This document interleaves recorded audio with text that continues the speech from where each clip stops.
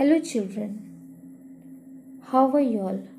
Hope you all are fine, staying safe at home with your parents. In the last video, we have studied lesson number one of standard 9th. Today, we are going to study lesson number two India events after 1960 means whatever events have taken place in India we are going to study in this chapter. India became the independent nation in August 1947. India accepted the constitutional framework in 1950 as we got independence in 1947 but we started working according to the constitution from 1950 and became sovereign democratic nation. The Indian society is multicultural and people of various languages, ethnicity, that is fact or a state of belonging to a social group that has common national or cultural tradition and caste live together.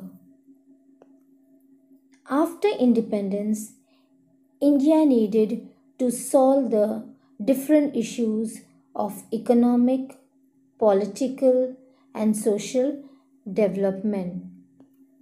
By establishing the Planning Commission and emphasized on industrialization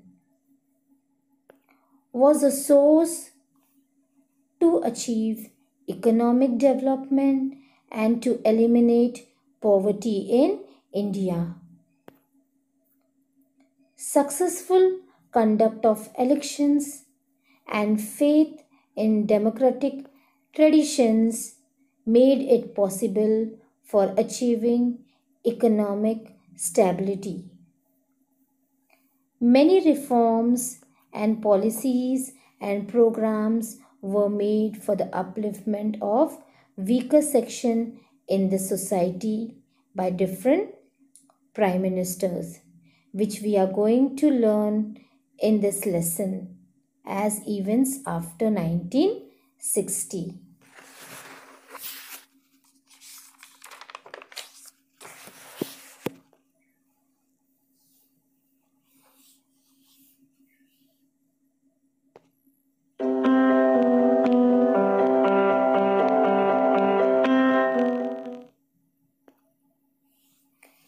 historical events took place in India after 1960.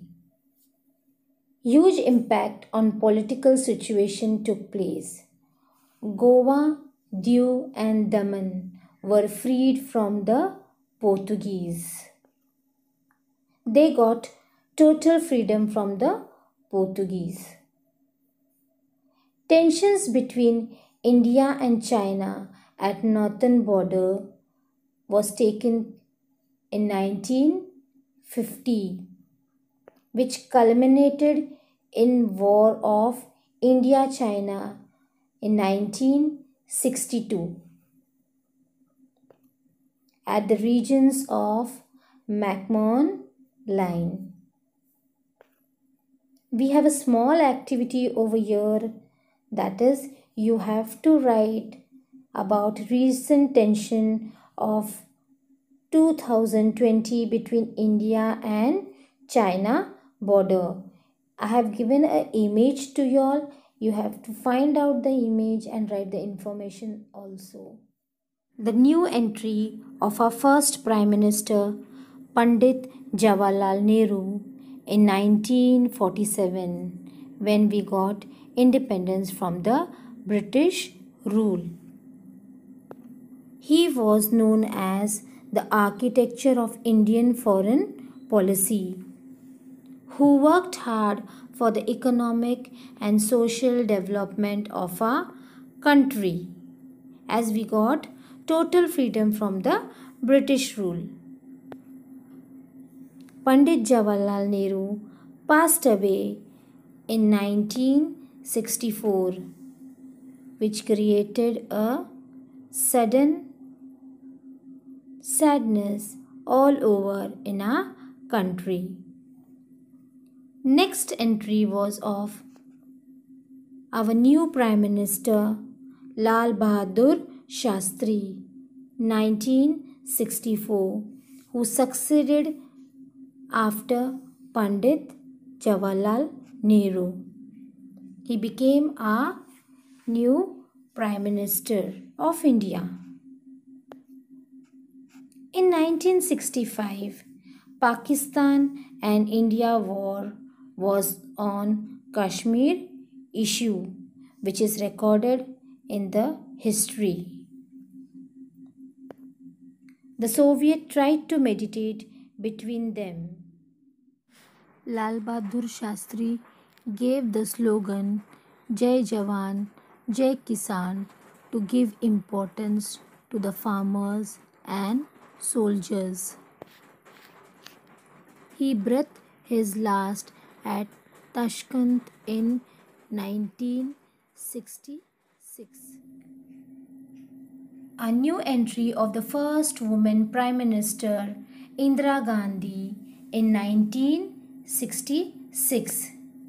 During her tenure, she faced the problem of East Pakistan policy which led into the movement by Sheikh Mujibur Rahman and his organization Mukti Bahini which also affected Indian country as millions of refugees who came to India. Now who are refugees? Refugees are the person who has been forced to leave their own country in order to escape war, persecution or natural disaster. They leave their own motherland and they come and settle in some other country. In 1970, during the tenure of Indira Gandhi, India-Pakistan war created a new independent nation that is Bangladesh where they got a own identity of the nation that is Bangladesh. In 1974, there was a successful launch of atomic device for the peaceful purpose at Pokhran in Rajasthan. In 1975, Sikkim voted to join India as Indian Federation means they wanted to become the part of India.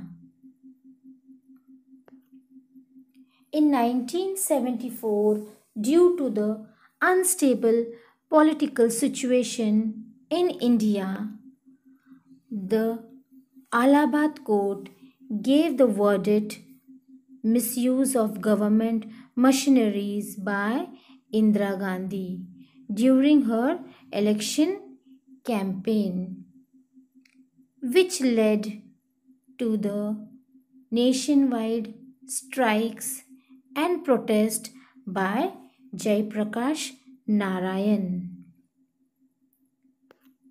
which declared the law and order of the country. So, government declared national emergency from 1975 to 1977. Everywhere there was a national emergency. On the backdrop of emergency, many opposition parties came together and formed a Janta Party under the guidance of Morarji Desai, who became the Prime Minister but could not last longer due to the internal differences means they had the differences among themselves. The next prime minister came charan singh. He succeeded for the shorter period But in 1980 elections, there was a rejoining of Indira Gandhi. The elections were conducted and Indira Gandhi came into the power. It was the second inning of Indira Gandhi means second coming of Indira Gandhi on the post. The 1980s. During this decade, the Indian political system faced many new challenges. The Sikh in Punjab demand an independent state of Khalistan and began a movement which became violent and destructive by the support of Pakistan.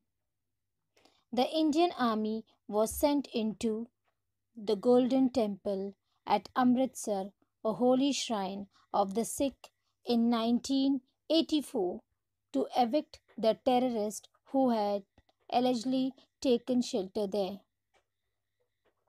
One of the Sikh bodyguard assassinated Indira Gandhi, means killed Indira Gandhi, shot dead, which left all the Indians in mourning state.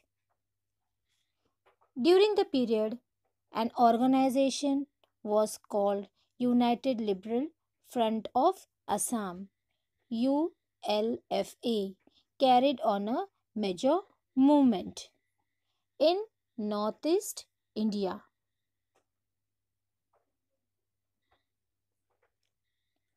After Indira Gandhi, Rajiv Gandhi became the Prime Minister of India. He was the youngest Indian Prime Minister.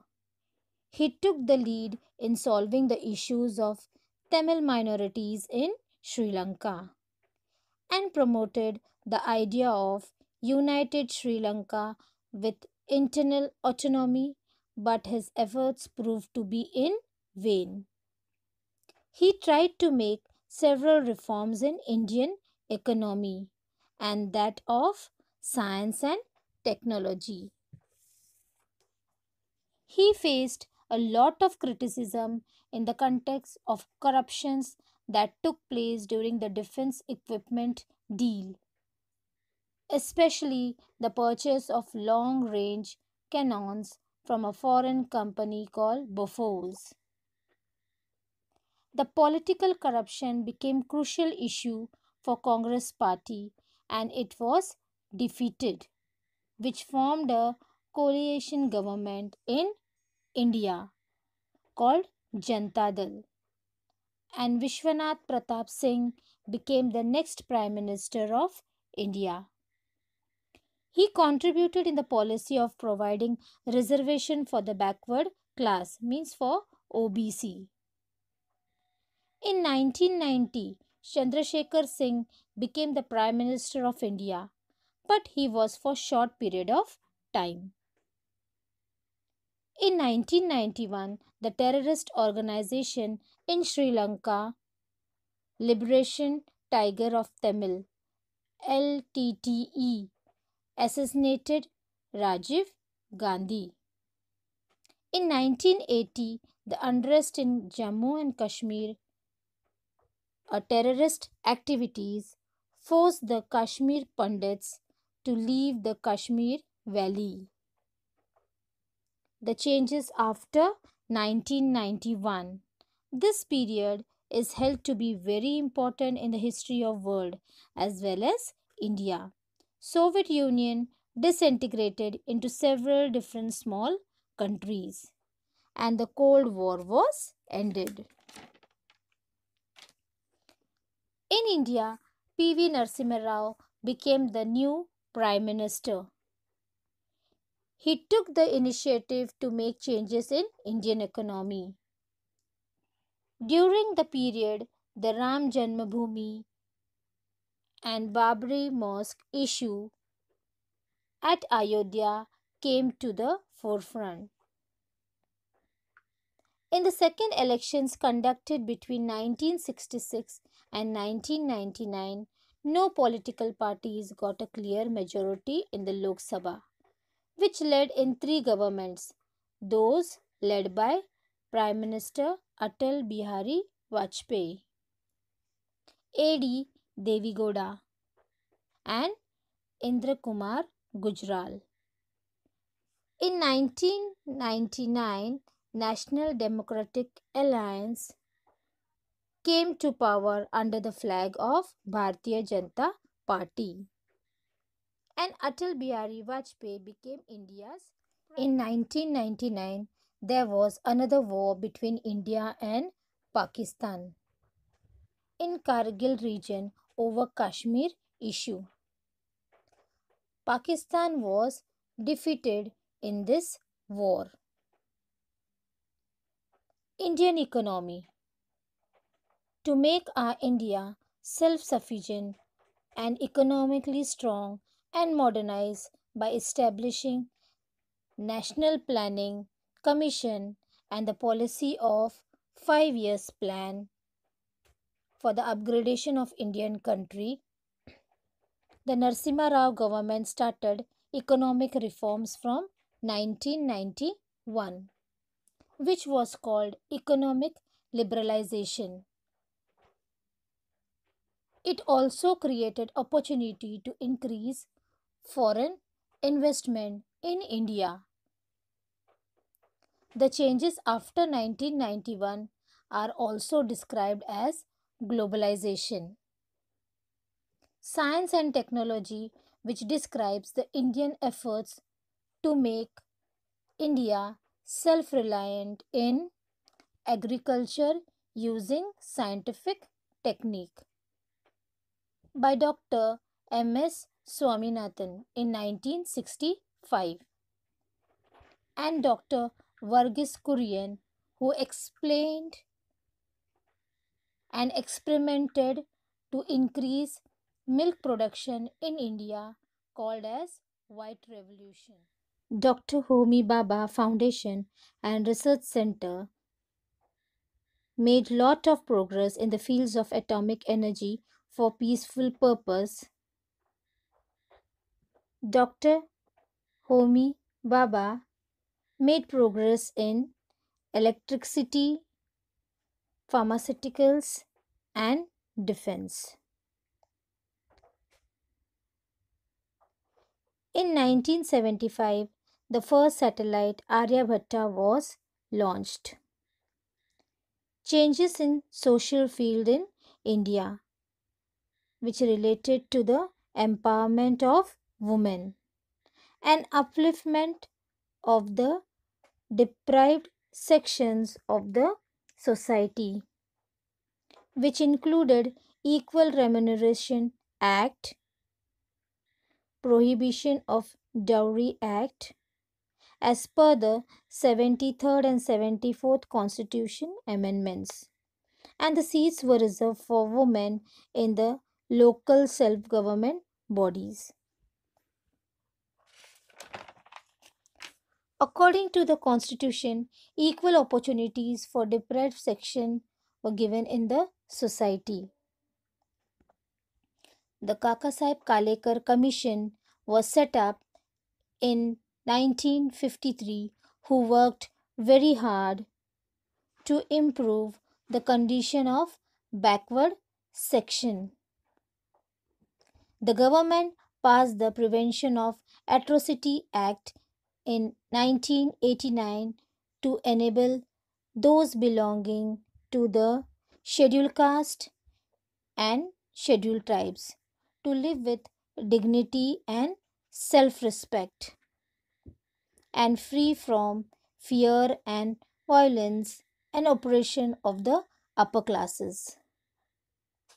Globalization brought many changes in different fields like economy, politics, etc. India is an important member of international organizations like G20 and BRICS. Brazil, Russia, India, China, South Africa the members. India has experienced an important revolution in the field of telecommunication technology. Mobile phones, internet, and communication facilities based on satellites have spread all across the country. All this has resulted in total transformation in the lifestyle of Indians and especially the youths in different way. I hope you have all understood the lesson which we have studied today, the changes in India. In the next chapter, we are going to see internal challenges before India. Here you have a small activity. You have to write down the names of prime ministers of India in chronological order. Next, you have to write the names of the brave soldiers of Kargil War and have to complete the exercise given on page number 9 in your history notebook. Thank you. Have a nice day. Be safe.